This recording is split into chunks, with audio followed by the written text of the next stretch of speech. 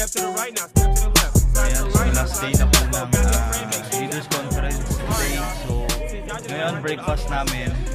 And kasama ko mag-breakfast ngayon yung malupit kong leader, Coach Joshua. Kilala niyo ba siya? Ayan. And syempre yung upline namin, Coach Lisa. Ayan. So, uh, sa nanood ng mini vlog ko, so, thank you for watching.